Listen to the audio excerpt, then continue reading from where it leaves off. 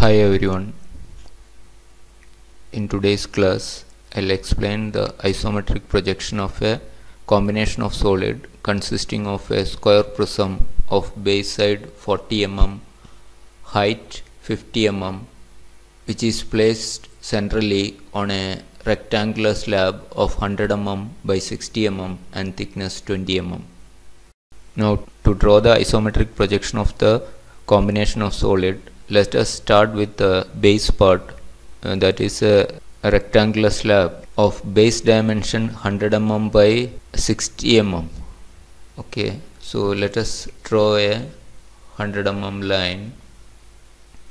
Let us use a normal line 100 mm line at an angle of 30 degree uh, next side is 60 mm 60 mm at an angle of 150 degree then next side is going to be 100 mm at an angle of 210 degree. Then you can close the end. So this gives the rectangular base. Now this is 100 by 60 rectangle isometric view of the 100 by 60 rectangle.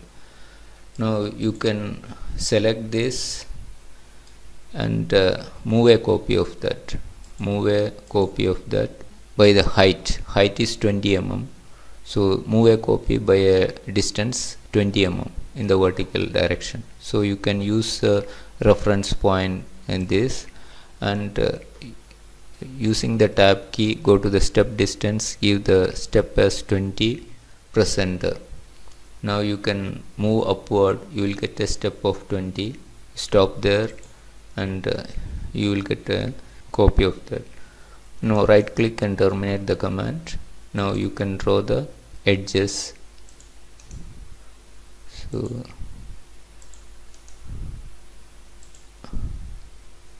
even this can be shown but it is not visible okay? You can show a line like this passing through the midpoint. So I need to fix the next solid on the center of this uh, face. So you can also draw one more line like this so this will give the center. Any one line is enough. So one line to get the center point is enough. Now let us construct the square prism. Square prism is of 40 mm side. So let us draw this 40 mm isometric view. 40 mm by 30 30 degree. And again 40 mm at an angle of 150 degree. And again 40 mm at an angle of 210 degree. Uh, you can close this now. So you got the square base. Now select this and use the move command and taking this as a reference point. The height is uh, 50 mm so you have to use a step distance of 50 so in the ribbon bar for step distance you give 50 and press enter. So you are getting a step of 50 so when you move the mouse up you get a step of 50 so mouse temporarily stops there. Now you can click and get a copy of that. Now you can right click and terminate this and, and draw the longer edges for, of the prism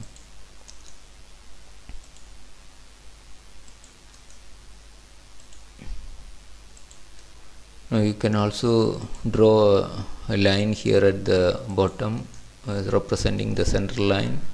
Now you can make this a rigid set. So select this make that unit a rigid set. Then you have to use the connect command to connect the this square prism. Center of the base should be connected to the center here so now you got the combination of solid. Now you have to show the visible lines. So let us move this to the center. Now let us show the visible lines. This part of that is uh, hidden here. Again this line part of that is hidden. So you can either uh, separately you can draw a visible line or you can split that line and change the property of this line to visible line. I use the split command now. Select this and split at the intersection. Select this split at the intersection here. And uh, this all lines are visible. Holding the control key you can select all these lines and change its property to uh, visible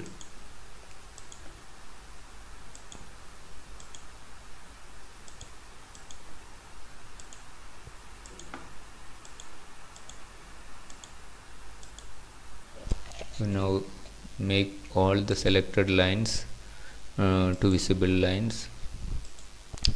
So that will give the uh, combination of solid. Now uh, you see this part of the line is not visible. So only visible edges I have darkened. Now you have to scale down this to 0.816 select it.